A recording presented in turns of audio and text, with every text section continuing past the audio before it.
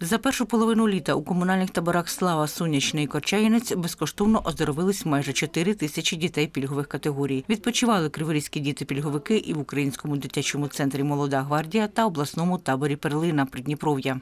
Взагалі, у нас на сьогоднішній день в Славі відпочило вже 1224 дитини, з них 150 дітей батьки, яких знаходяться. І приймають участь у в, в антитерористичній операції. Е, Протягом третьої зміни також е, ми плануємо оздоровити 56 дітей числа е, цих же осіб і переміщених осіб. В Сонячному у нас на сьогоднішній день відпочили 509 дітей, і в Корчагінці 554 дитини. З них, з них 100 дітей числа внутрішньо переміщених осіб. І я думаю, що ця цифра не остаточна. Ми підсумки не підбиваємо, оскільки у нас ще третя зміна і четверта є, існує в, сонячному. А профспілкові комітети на сьогоднішній день е, оздоровили вже близько п'яти тисяч дітей. Координатори розповіли, що у Славі та Сонячному за дві зміни було проведено чималу кількість соціальних проєктів. Екологічний проєкт, який реалізується в дитячому здоровчому таборі Сонячний, і проєкт, який реалізується в дитячому здоровчому таборі Слава. Це проєкт для дітей з батьками, е, які дітей, які мають різний спектр аутизму. Це проєкт для дітей, які взагалі мають обмежені е, можливості.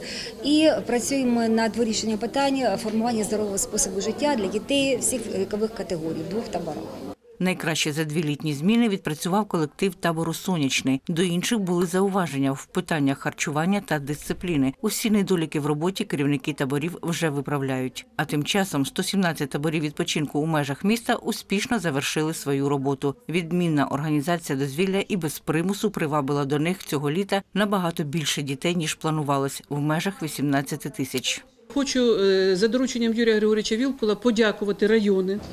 За е, дуже е, хорошу роботу в цьому напрямку, за дуже е, творчий підхід до організації роботи пришкільних таборів, за велику кількість подяк від батьків, які надійшли на адресу міського голови, на адресу управління освіти і науки. Хотіла подякувати щодо стосується пришкольних таборів, окремо Інгулецький район за ту кількість дітей, які вони організували, а також Тернівський і м, Довгинцевський райони, бо саме найбільша кількість організована була дітей у пришкільних лагерях.